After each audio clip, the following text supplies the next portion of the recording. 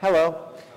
Um, my name is Carl Daniel Hailfinger. I'm one of the developers of the Coreboot project, and I'm very happy to be here today at FOSDEM and to have the chance to present um, something about Coreboot, especially one of the most asked questions today. Now, we had a slight glitch in that um, yesterday evening while trying to film a demo uh, or to document how the hardware works, just in case something goes wrong, um, the demo hardware died. I still have the video and we will um, try to show something, but you might not see that much if I just hold up that laptop. It's a bit small for people to see um, at the higher rows here. So yeah, um, let me just start. Um, what is Coreboot? Coreboot is an x86 BIOS EFI replacement, not a BIOS or EFI. Um, let me just elaborate a bit on that. Um, some, I think 11 years ago, the Coreboot project was founded, um, and back then it was called Linux BIOS.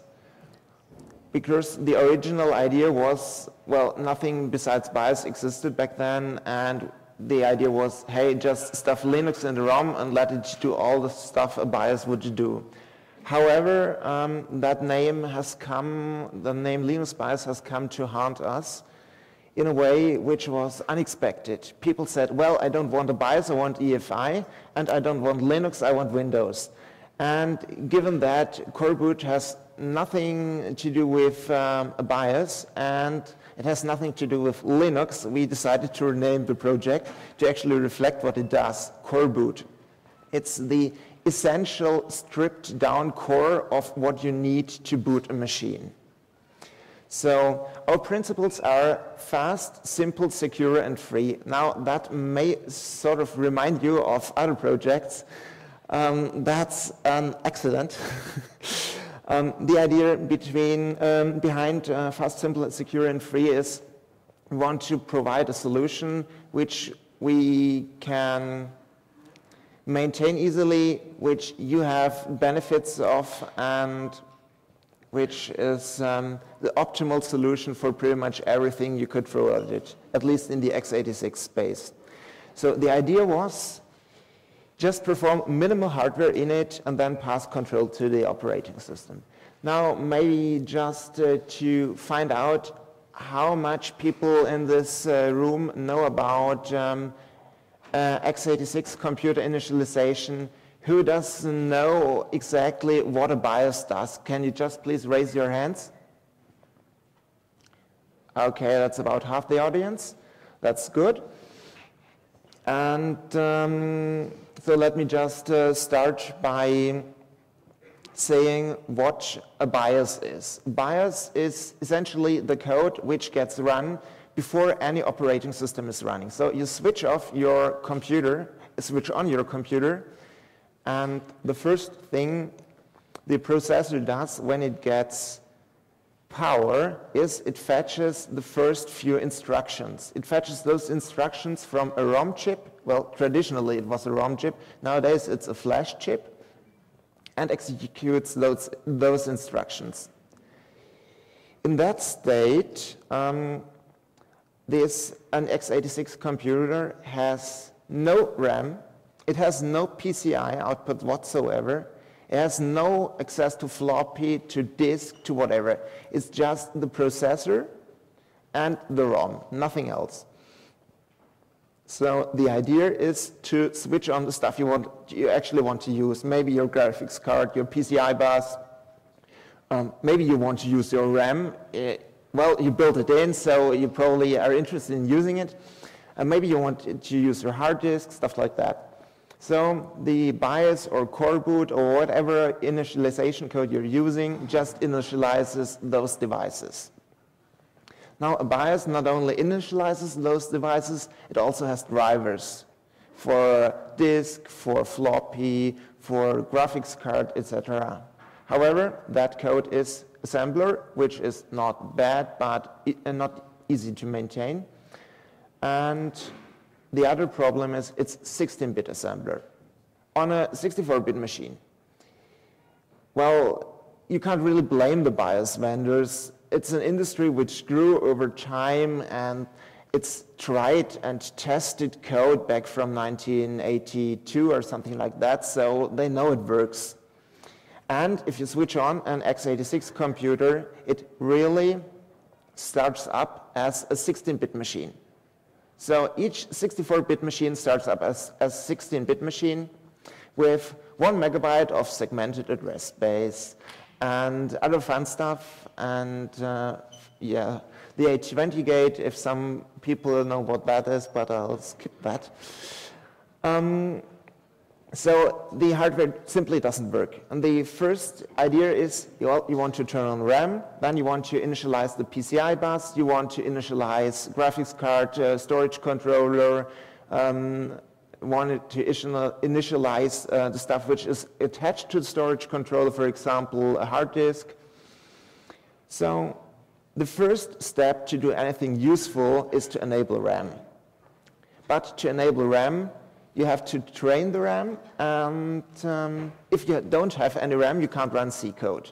Because you don't have any stack, you can't do a malloc, you can't do anything. So BIOS vendors have traditionally just said, well, we'll use assembler, we use no call, just jump, jump, jump, jump, jump, unroll all loops. Uh, the code is bloated, it's slow, but it works. Coreboot does it a bit different, and um, let's now just um, let me tell what coreboot does. Coreboot, when a machine is switched on, it executes the first instructions. And the first thing coreboot does is enter protected mode to have 32-bit address space and to actually be able to run. Even on a 64-bit machine, we only enter 32-bit mode. This has reasons which I'll explain later uh, among other speed. So the idea is go to protected mode and then next step is switch on RAM. However, to switch on RAM, we have to execute some RAM training code. On x86, the RAM controller is pretty dumb, so you have to tell it everything. You have to take the measurements, take um, have to analyze, uh, analyze eye diagrams and stuff like that. So what we do is we perform an old trick. Your CPU has um, cache. Not that much of it, uh, maybe 512 kilobyte or something like that. However, that cache works if you switch it on. So we switch on the cache, lock it, and say, well, please don't write through to memory, to real RAM. And then this cache can act as sort of RAM. And then we suddenly, once the cache is switched on and acts as RAM, that's what we call cache as RAM, you can execute C code and can really work with stuff. So first step, um, switch on the machine. Second step, enter protected mode. Third step, switch on cache as RAM. First step, train the RAM. So you get access to the RAM. And once you have RAM, you can, well, you have all the RAM in the machine you want, and then you can start initializing the PCI bus. PCI bus is um, something which is essential to most x86 PCs. I don't think any x86 PCs without PCI bus are manufactured anymore. So where your graphics card is attached to graphics, um, storage, uh, SATA, PATA, IDE controller, whatever. And once PCI bus in, is initialized, you have um,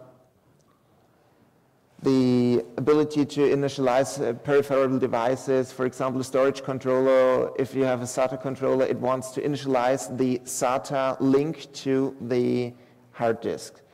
So, well, simple is one thing, um, but um, it's less complicated than the BIOS because the BIOS also has to have drivers for everything to talk to that stuff. So minimal hardware in it is really all that stuff which I just mentioned. And then you pass control to an operating system or what we call a payload. So maybe let's just go back to what are the principles of coreboot fast. Now, people ask of, often ask, why should I use coreboot? Well, apparently from that, we love to get more users. Um, there are real hard facts why, uh, why using coreboot is a good idea.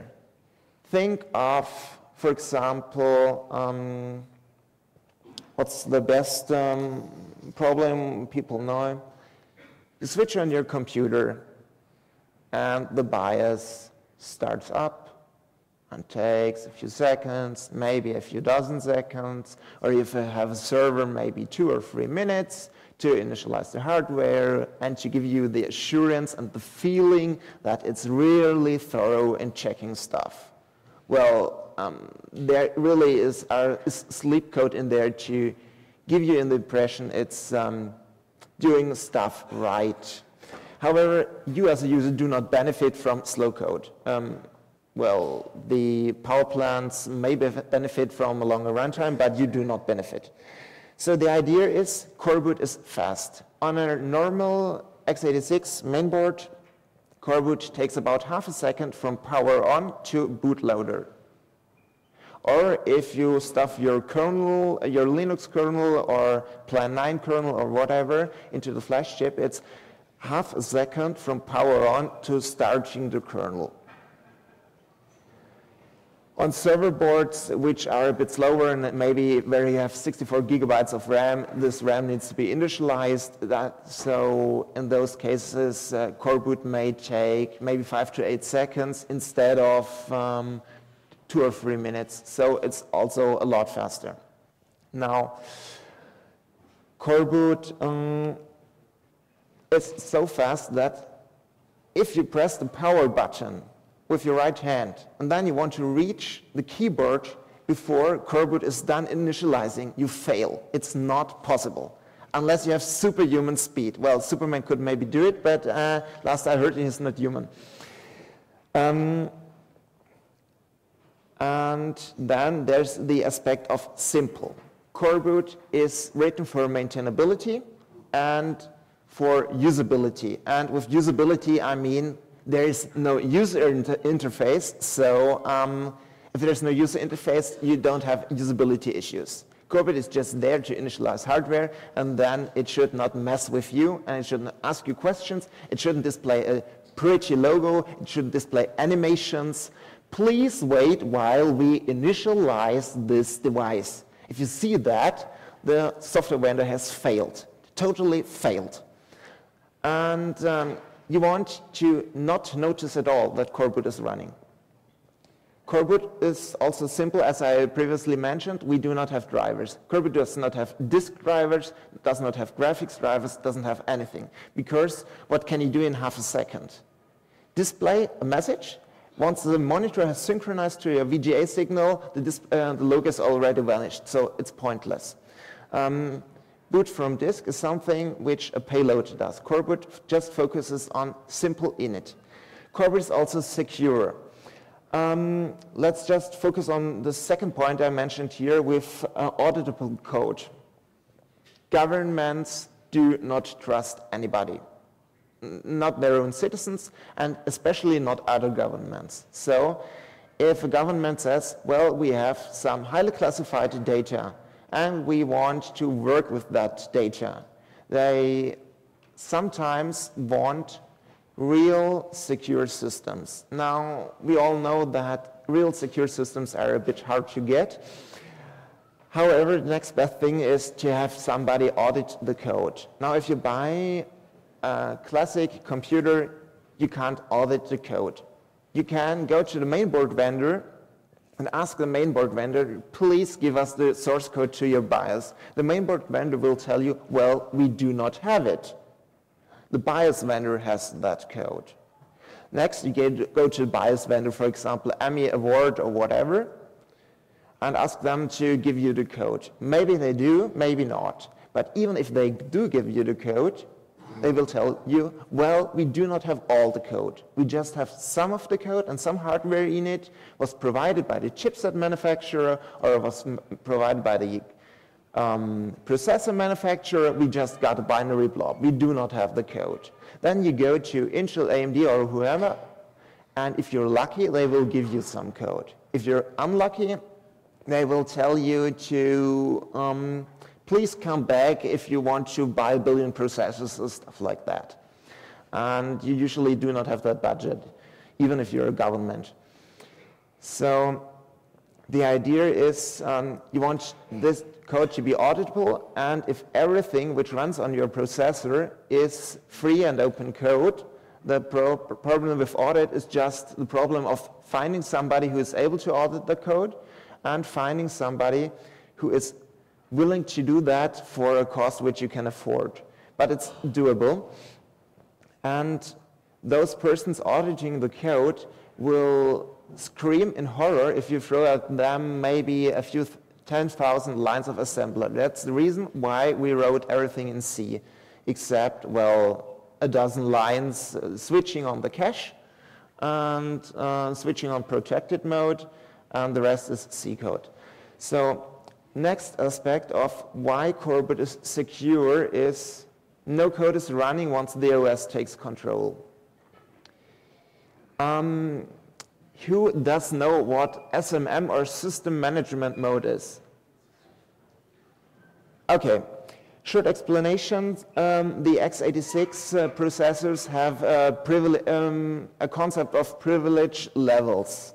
So you have ring 3, which is basically um, the ring which operating systems use for user space. Ring 3 means lowest privileges. That stuff cannot mess, code running in ring 3 cannot mess with hardware. Um, code in ring 0, which is the classic lowest, uh, the, the highest privilege level, that's why it's lowest number. Um, this code can do everything with hardware, and that's what operating system kernels use. And then you have the ability to, in your Intel and AMD and other processors, to run system management mode code. This code can is, is at an even higher privilege level than ring zero, so you can use this system management mode to trap hardware accesses to emulate, for example, devices which do not exist. You can, for example, if you have an old operating system which can't handle USB keyboard. You tell your BIOS, please run some code in system management mode, and every time somebody presses a key on the USB keyboard, please emulate a PS2 port in software and um, let the OS, the operating system, think that the software which uh, that there's actually a PS2 port and that there's a PS2 keyboard attached to it. So this system management mode code runs always. The OS cannot stop it. The OS has no idea that this code is running. So people have demonstrated rootkits in system management mode. It's real fun, and there's no way to detect, to, to detect that. And with Coreboot, we don't use system management mode because, well, we have nothing to hide, and our code works well enough that we can do without system management mode. Uh, this also has um, benefits if you care about real-time latency because system management mode steals the processor from the OS and the OS doesn't know about it. So you get uh, horrible and unknown latencies. On the other hand, with Coreboot, that doesn't happen. So you get um, classic good latencies even on x86. Free, yeah, well, um, the source code is available for free under the GNU general public license version 2. So you can do with it what you want, uh, um, well, if you conform to the license. Now, um, this is a diagram I really like because that's what a modern PC looks like. Um, I, do we have a laser pointer here? Um, we do not. Does anybody here in the audience have a laser pointer? Okay, great. Um, I'll just fetch it, sir. Thank you. So the idea of this simple modern PC is a classic PC is just as you know it is just one CPU, one memory controller, RAM, uh, North Bridge, uh, South the North Bridge is mostly where um, in older machines memory was attached, and newer machines the PCI Express is attached. South Bridge handles PCI, USB IDE, and to South Bridge the boot flash chip is attached. Now, modern PCs are a bit more complicated. If you have multiple processors, they all have their own memory controllers usually, have their own RAM attached. So initializing stuff is a bit complicated, um, but it works because, yeah, for example, if you want to initialize RAM, you have to read out the RAM configuration data. The RAM configuration data cannot be read directly by the CPU, can't be read by the North Bridge, can't be read directly by the South Bridge, but only by the SMBus controlling the South Bridge. So it's a bit complicated to initialize, but it works. Now on a laptop, it's a bit more complicated. You have a Super I.O. or embedded controller chip, and that embedded controller chip handles thermal management. Um, it handles stuff like battery charging, like even switching on your machine. So um, this simple modern PC is um, fun. Now, this is uh, next slide is something I would wanted to skip. Well, um, so the idea now is um, to. I wish to apologize. Um, I had a slight hardware issue with which caused me to lose some of my presentation. So I'll continue with audio only. Um, the architecture we saw of a laptop um, is, if the slide actually comes up again, yeah. Laptop architecture is, um, is you have here an embedded controller instead of a Super I.O. chip. And that embedded controller, as I mentioned, handles battery issues, etc. And you need to work with that as well. So um, about x86 init, I already mentioned uh, that. So um, Coreboot is a bit um, strange, a strange beast in that um, people who say, well, what do I need to write Coreboot? Uh, how, how can I write Coreboot support for my hardware? That's why many people came to this talk. And um, I really wanted to leave that point until, well, now. Um, the biggest problem when writing coreboot support is that you need datasheets. And datasheets are hard to come by. Um, you can ask the vendors, and the vendors will give you datasheets, and the datasheets are just an overview of what the hardware does. Doesn't help you. Then some vendors give you a datasheet which has hardware programming information. For example, Intel do that.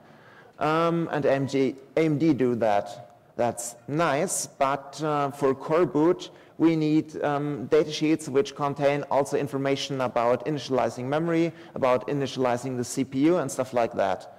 And for modern consumer um, CPUs, modern consumer chipsets, it's very hard to get the documentation from Intel. It's pretty easy to get the documentation from AMD, which means it's downloadable on their website without registration. Um, and the question is, what can I do without documentation? Well, you can't do anything um, if you want to write chipset or processor code. The original question, how do I add support for my laptop, is answered by telling people, well, make sure your processor is supported by Coreboot. Make sure your chipset is supported by Coreboot.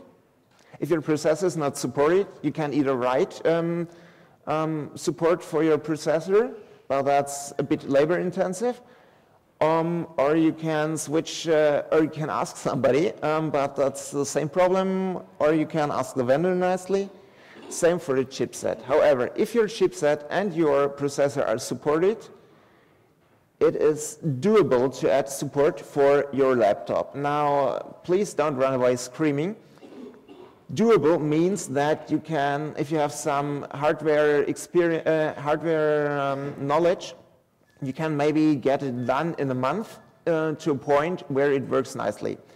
Um, however, if you, um, but that's only the case if you have datasheets and there's already working code for CPU and chipset. If you don't have datasheets, I'd just suggest to give up because um, reverse engineering a chipset or a processor will take maybe two or three years if you work on it full time. It's not feasible. Um, however, reverse engineering parts of the laptop is, uh, or parts of a desktop mainboard is easier. Um, one of our developers, Sven Schnelle, who um, added support, uh, well, he's sitting there. Can you just stand up sh shortly? Because he supported the ThinkPad X60 and T60. Um, yeah.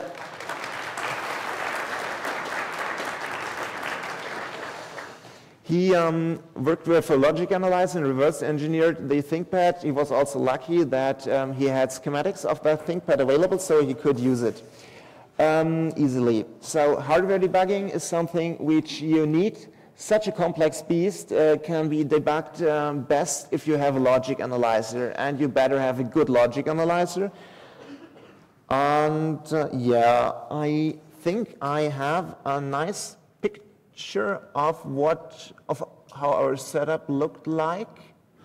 This was the was the wrong photo. Give me a second. We have um,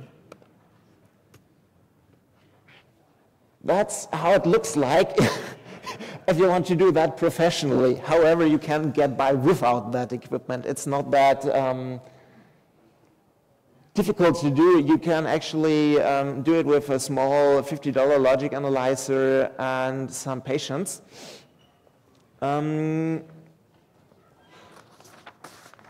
writing getting back to writing support for your laptop. The idea of writing support for your laptop is um, you find out um, how your laptop works by running diagnostic tools like LSPCI, by checking the ACPI code of your uh, uh, existing laptop, by um, running SuperIO tool, which is also one of the tools we wrote uh, for analysis of systems, uh, embedded controller checking, and stuff like that. And then you can just um, try to find out which command sequence means what, and then you can try to replay that stuff. Replay is something which works sometimes. Sometimes you better understand what you're doing, but it works pretty often. We have, um, if you do not own a logic analyzer, and those beasts are, well, expensive. Uh, a car is a lot cheaper. Um, so what you can do is we have a project which is called SerialICE. It's um, like a, a serial in-circuit emulator. So we use QEMU to run the x86 code and every hardware access is forwarded to the real hardware so you can just watch a BIOS execute and can just log everything it does and all you need is a serial cable for $5.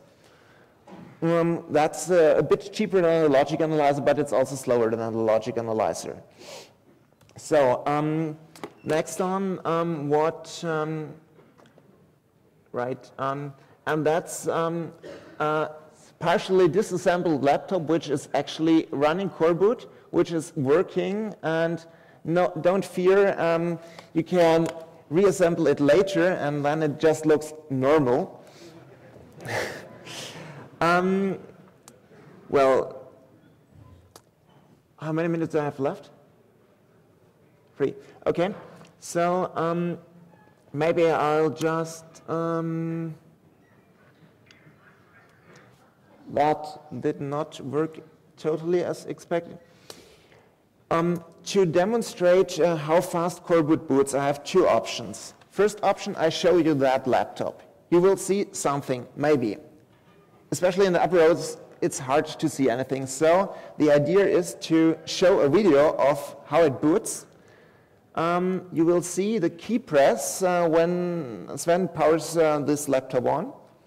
And once the key press is done, the, um, it needs, Coreboot needs about one second to start. And once you see messages on screen, Coreboot is already done. So, okay, Coreboot is done. Um, now, I realize that a live demo is better, so I'll just, um, um, well, if anybody can see it, I'm pressing the button now and Coreboot is done. Um, well, I can't see the screen myself from the side, so um, uh, maybe not the best option. Right. But uh, what I can demonstrate is um, we booted uh, to a full Linux system. I'll now reboot the system. It's shutting down and reboot now. Coreboot is done. So it's fast.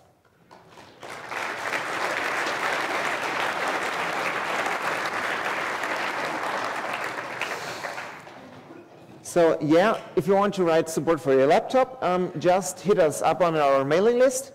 Um, we'll tell you how to get started. Um, I hope this talk at least provides some uh, insight into how it could work. Now, if you ask me which laptop can you buy right now, which is Coreboot supported, the ThinkPad X60 and the ThinkPad T60 are well supported. They do work. They are only available on, um, well, auction sites and used. We are working on newer laptops. We're making progress with that. Um, I expect some new laptops which are actually um, buyable in stores to be supported in maybe middle this year, May or June. And then um, I hope everybody can enjoy a Coreboot laptop. Pardon?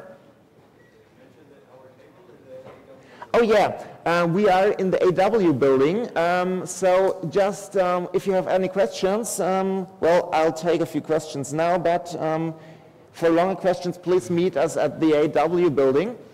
And now I want to say thank you and questions, please.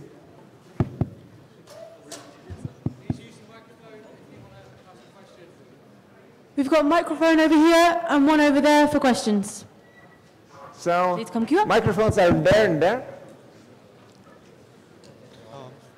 So if it's possible to, um, Could you please speak a bit louder? yeah, if it's possible to uh, put Coreboot on a T60, um, can I use um, uh, your BIOS tool to write it? Um, yes, um, indeed. Um, the Coreboot project has a few uh, other projects um, which belong to the Coreboot family. There's FlashROM, which allows you to write any BIOS, EFI, firmware, Coreboot, whatever you want, to the flash chip. And you can use FlashROM to reflash um, the flash chip of uh, a T60 or X60 laptop and get it working with Coreboot. There's one limitation, you need some special, um, special utility to um, circumvent security, but it will work. Next question, please. Yeah. Uh, uh, does Coreboot uh, solve the problem that might occur when uh, with, with, Windows 8 and UEFI, UEFI? Pardon? Does Coreboot solve the problem that might occur, occur with Windows 8 that requires to uh, UEFI to be turned on? Um, well, um, the next, uh, you mean the Windows 8 which will require EFI or what? Yes. Um, we haven't tested yet, but uh, Coreboot does support uh, Core as a payload, so you can use Coreboot for the hardware init, and if you really need EFI, you could run with EFI if you want that. Pardon? Uh, a developer preview of Windows 8 has been booted with Coreboot, so it does work, yes. Yeah? Uh, yes, so I have another question. It's a bit uh, linked to what he asked. How do you provide uh, all the features of uh, classical BIOS, like uh, booting on over PXE, USB, or right. power management? Um, the point of Coreboot is to have no drivers, so Coreboot just quits at once uh, the init is done, and then it can run, for example, um, a BIOS, um, well, a stripped down BIOS, for example, SeaBIOS, which we use for legacy support of Windows, Linux, and DOS.